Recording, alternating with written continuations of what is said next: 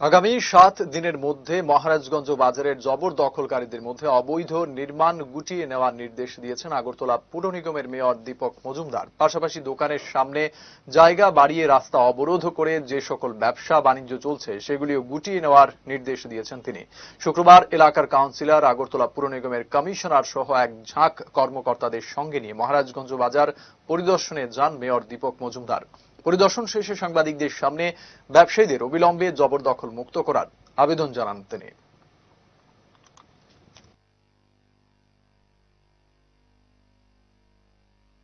আমরা নির্বাচন আগে, পৌর নিগম নির্বাচন আগে আমাদের আগরতলা পৌরবাসীর কাছে কথা দিয়েছিলাম, আমরা যদি আমরা পৃথিবী পরিচালিত পৌর নিগম হয়, আমরা আগরতলা শহরবাসীর সুখ, স্বাচ্ছন্দ্য, যাতে নির্বিঘ্নে চলাফেরা করতে পারে, যানজট না হয় শহরের উন্নয়ন করব, শহরকে সুন্দর, পরিচ্ছন্ন রাখব পাশাপাশি শহরে অন্তর্ভুক্ত যে বাজারগুলি আছে, সেই বাজারগুলি উন্নয়নে আমরা কাজ করব।